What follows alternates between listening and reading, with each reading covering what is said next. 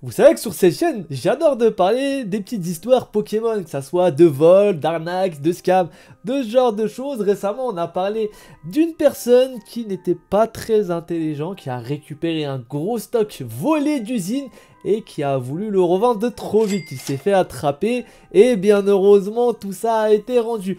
Mais si je vous dis que les vols en usine sont qu'une petite partie immergée de l'iceberg, de ce qu'on connaît. C'est pas pour rien et justement aujourd'hui on va continuer à parler de ça parce que il y en a eu un nouveau mais c'est pas celui auquel vous croyez.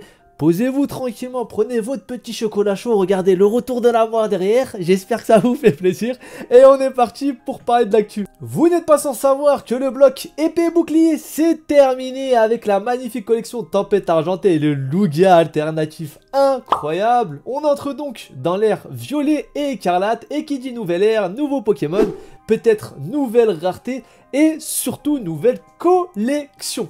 Et aujourd'hui, on a eu un leak. Donc, qu'est-ce que sont les leaks? Ce sont simplement des fuites d'informations, des fois à tort, des fois non. Et aujourd'hui, je vais vous en présenter un qui n'est pas un leak. Euh, comment dire?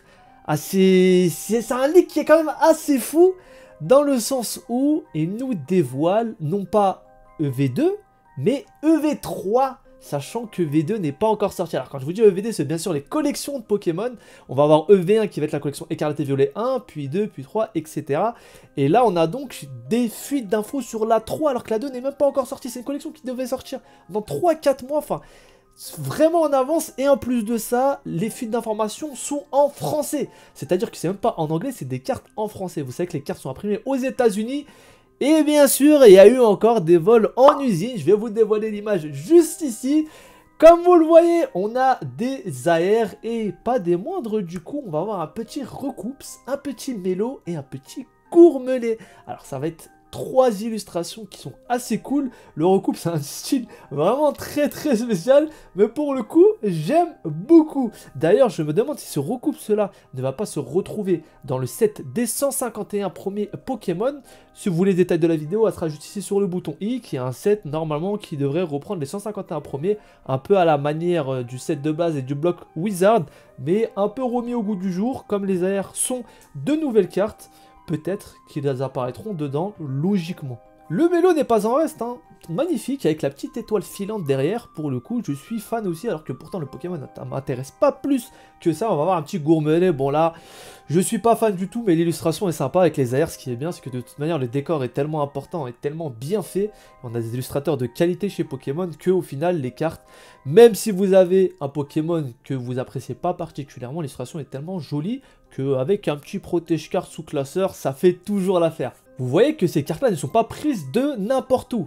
Elles vont être sous Blender, donc sous classeur tout simplement ça montre que quelqu'un les a pris, les a mis dans un classeur et forcément les a récupérés de l'usine vu que c'est pas sorti et que c'est vraiment une collection qui va arriver dans très longtemps. Et donc là on arrive au point culminant de cette histoire, les vols dans les usines. Je vous avais détaillé une grosse histoire d'arnaque comme je vous ai dit dans l'intro. Ici on a encore un nouvel aspect de ce vol là parce qu'on va voir ces trois cartes. Alors déjà premièrement le vol est-ce qu'il s'effectue vraiment que sur ces trois cartes ou est-ce que le mec a volé beaucoup plus de cartes et nous a donné un petit amuse-bouche avec ces trois là parce que on voit que la page, on a vraiment qu'une partie. Hein. Vous savez que les classeurs, normalement, on a à peu près euh, trois rangées comme ça sur la hauteur, voire quatre.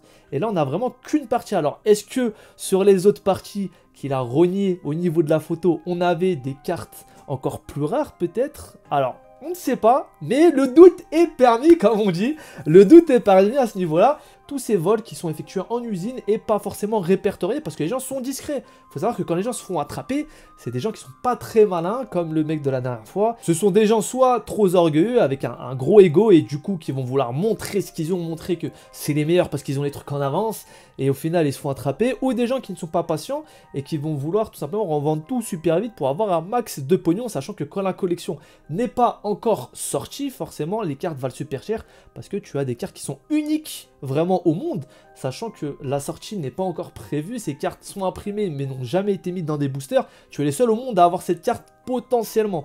Et donc là, il y a des gens qui sont prêts à mettre un gros paquet de thunes juste pour avoir la carte en premier, à dire regardez, j'ai une jolie carte, faire un petit post sur Instagram, un Facebook ou ce que vous voulez. Et voilà, avoir un peu d'attention et peut-être euh, aussi euh, ce petit ego de collectionneur d'avoir une chose que personne n'a, même si c'est pour un temps limité et un prix qui dépasse l'entendement pour le coup, vu la carte. Parce que vous savez, ce genre de carte là, si c'est pas encore sorti, alors quand elle va sortir, la carte elle va valoir 2-3 euros, je vous le dis concrètement. Mais honnêtement, euh, si un mec sort une carte comme ça, qui sort que dans 4-5 mois, et l'a mis en vente sur internet, je pense à part très facilement à plus de 100 euros, voire 200 euros, c'est juste n'importe quoi. Là, c'est sympa, parce que le mec nous montre un peu ce qui va arriver par la suite. Alors parfois, les fuites d'informations sont faites par les entreprises elles-mêmes. Moi, franchement, je suis pas partisan du fait, les connaissant, que Pokémon Company organise eux-mêmes leurs fuites d'informations. Je pense vraiment que c'est des vols qui se passent dans les usines, parce qu'on a déjà vu ça, en fait, euh, par le passé. Il y a certaines entreprises qui font exprès de liquer un bout de code ou ce genre de choses, soit pour promouvoir un jeu vidéo, soit des cartes qui vont sortir, enfin... Il y a ça dans énormément euh, de domaines pour le coup. Mais Pokémon Company, ça ressemble pas trop à leur, simplement à leur habitude de faire ce genre de choses là. Je pense vraiment que ces, ces là sont vraiment sortis d'usine. On voit que les cartes sont nickel pour le coup. On voit pas de marque dessus, vous savez, parce que les cartes lors du contrôle qualité, etc. Des fois, elles ont un marquage différent, etc. Ça a l'air vraiment d'être des cartes propres. Moi, je ne pense pas que ce sont des cartes fake. Des fois, certaines personnes, pour avoir un peu d'attention, inventent des fausses fuites pour tout simplement voilà, avoir un peu de hype, un peu de... Je ne sais pas ce qu'ils recherchent concrètement, à part à mettre les gens sur des mauvaises directions, mais ça arrive aussi. Mais pour le coup, euh, ces cartes-là, pour moi, sont trop bien faites pour que ça soit du fake. Voilà, sinon c'est un fake qui est vraiment très bien élaboré, et franchement, j'applaudis euh, la personne, parce qu'on a tout, on a le style des illustrateurs, on a la carte... Bon, la brillance, on peut discuter là-dessus, parce que forcément, c'est c'est pris du côté ombré de la pièce. On a euh, une double couche avec la sleeve plus le classeur et on voit pas très bien. Mais honnêtement, moi je pense concrètement que ce sont des vraies cartes. Donc là, on a un autre type de vol dans les usines qui est tout simplement la fuite d'infos. Donc ce mec-là, il a pris des cartes, il les dévoile aux gens. Comme j'ai dit, on ne sait pas combien il en a pris, on ne sait pas comment ça s'est fait, mais ça reste du vol, hein, et ça reste des choses qui sont euh, tout simplement condamnables, hein, on va pas se mentir.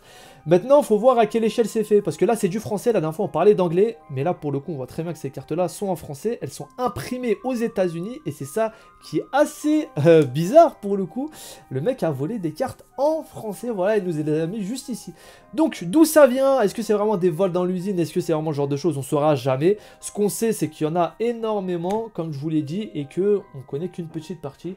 Il y a sûrement des mecs qui sont un max de fric et des choses. Enfin, il doit, y avoir des réseaux, ça doit être une petite mafia, genre de trucs. Hein. Je pense vraiment, voilà, c'est des trucs sur lesquels on a vraiment zéro info. Mais si vous savez, la, la partie cachée, il y a tellement de choses en fait qu'on ne sait pas. Et je trouve ça justement euh, super d'avoir euh, des, petits bouts comme ça, des brides d'informations, qu'on théorise ensemble et qu'on regarde un peu ça. Donc comme vous le voyez, ça continue, hein. comme je vous l'ai dit, euh, c'est un peu monnaie courante maintenant, les, les vols dans les usines.